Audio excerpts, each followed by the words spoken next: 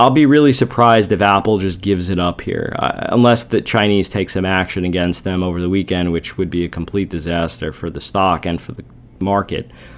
But we're getting close to the two times range for for 441.83. What range might that be?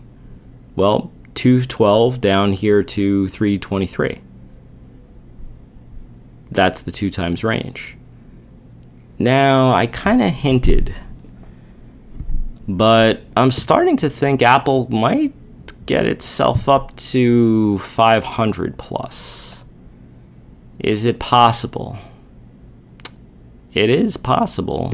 Um, I think some of it will depend on the market in China and, you know, the virus and all that, but every retail trader, Robinhood type, I mean, they might pull a Tesla with this you know, where they just pile into this. You have all the fractional shares now of people who could own this.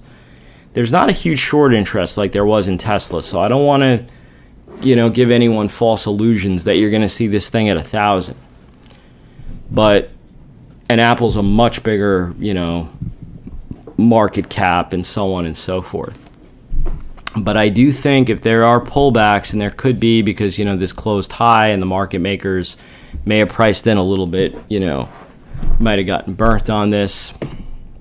I do think the path of least resistance here for Apple, assuming it doesn't lose the breakout, could be potentially up to 512.66. You know, I remember in the heydays of the dot com, and I, I, I, I does anyone remember what Qualcomm did when they split four for one back in the uh, dot com era? The stock was up literally hundred dollars in the regular trading session leading up to the split, and then another hundred dollars in the after hours. I remember when I got filled on the stock, I didn't get a fill um, confirmation until the stock was eight dollars higher from where I paid